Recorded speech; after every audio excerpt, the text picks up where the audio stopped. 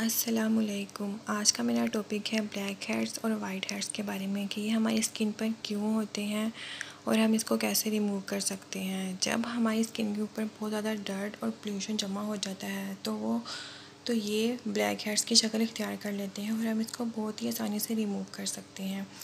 अपनी remedy start करने से पहले मैं आपसे ये कहना चाहूँगी कि मेरे चैनल को सब्सक्राइब कर दें और मेरी वीडियो ज़्यादा से ज़्यादा शेयर करें। तो बढ़ते हैं अपनी रेमेडी के फ़र्स्ट स्टेप की तरफ़ तो पहला स्टेप ये है कि हमने एक बाउल लेना है। एक हमने बाउल लेना है, उसमें हमने एक चम्मच गंदम का आटा डालना है। हम देख सकते हैं, मैंने डाल लिया है गंदम का आटा। इसके बाद हमने इसमें एक तकरीबन एक पिंच के करीब हमने बेकिंग पाउडर ऐड करना है। बेकिंग सोडा जो होता है, वो हमने इसमें ऐड करना है।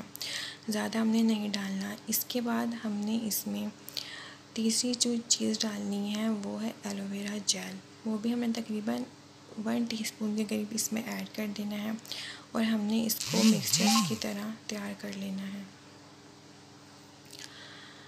ये देख सकते हैं, मैंने इसका मिक्सचर बना लिया है। मैंने इस, ये आपने बहुत इसकी गाढ़ा रखना है। इसको मैंने इसमें रोज़ वाटर ऐड किया है, आप चाहें तो इसमें पानी भी ऐड कर सकते हैं। लेकिन बस आपने इस बात का ध्यान रखना है कि ये थोड़ा गाढ़ा होना चाहिए, बहुत पतला नहीं होना चाहिए। अगर ये पतला होगा तो ये आपकी नोज़ पर ठीक तरह से अप्लाई नहीं होगा। गाढ़ा होगा तो ये आपकी नोज़ के ऊपर ठहरेगा और जितना ठहरेगा उतना ही इफ़ेक्ट अच्छे देगा। ये दे देखिए मैंने इसको अपने हैंड के ऊपर अप्लाई करके दिखा दिया आपको। हमने इसको अपनी नोज़ पर जब अप्लाई करना है तो पंद्रह से बीस मिनट तक इंतज़ार करना है जब तक ये ड्राई नहीं हो जाता। हमने इसके ड्राई होने का वेट करना है। जब ये अच्छी तरह से ड्राई होगा तो हम इसको नॉर्मल वाटर से धो लेंगे। आप देख सकते हैं ये ड्राई हो रहा है।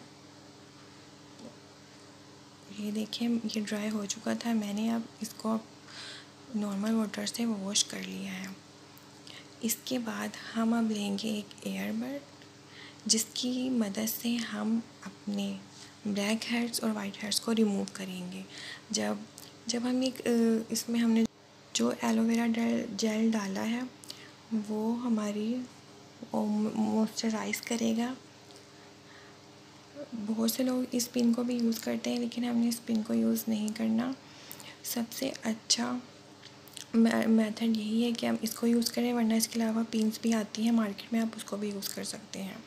हमने इसको निकाह करना है अपने, जो ब्लैक एंड वाइट है उसको रिमूव करना है। उनको रिमूव करने के बाद हमने जो जो सेकंड स्टेप करना है वो है, हमने टमाटर का जूस लेना है निकाल निकाल लेना है और उसको अपनी नोज़ के ऊपर अप्लाई करना है।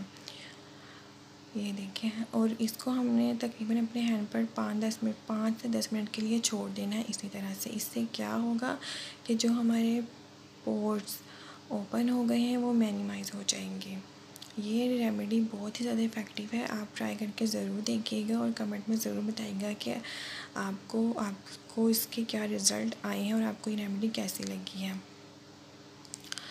मेरे चैनल को सब्सक्राइब कर दें। वीडियो पसंद आई तो उसे लाइक कर दें और ज़्यादा से ज़्यादा शेयर करें। नेक्स्ट वीडियो में आपसे मुलाकात होगी। तब तक के लिए अल्लाह हाफिज़।